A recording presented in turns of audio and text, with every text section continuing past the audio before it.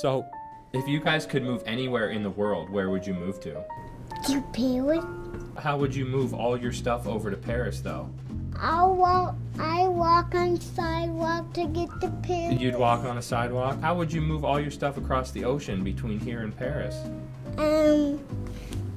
Um. You swim. Yeah, Clothesline. yeah, you'd swim all your stuff behind you. If I had a jetpack, um, and it wasn't so, and it was really small, I would have a special button that could turn it into a, a zip line, and then I could put all my stuff in the carrier, and Yeah. then I would put the zip line on my back, um, and then I would zoom. Well, we we gotta look into that kind of technology. Mm.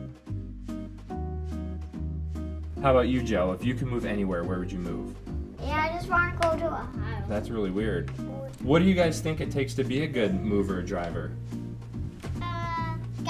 License. You gotta get a license. That's good. A pickle. You gotta get a pickle Tomato. and a tomato And you have to have a sandwich. and a sandwich. Okay, so in order to be a driver, we're gonna put that on an application. You have to have a pickle, a tomato, And carrot. a sandwich, a carrot, and a driver's license. You need some help? Elena's arms are still sticking out. They're sticking out, so you need more bubble wrap.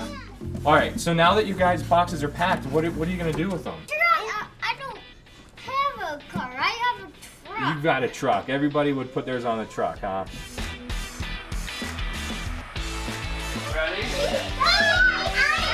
You want me to go in there too? Come here. You guys ready to see Truckee? Yeah!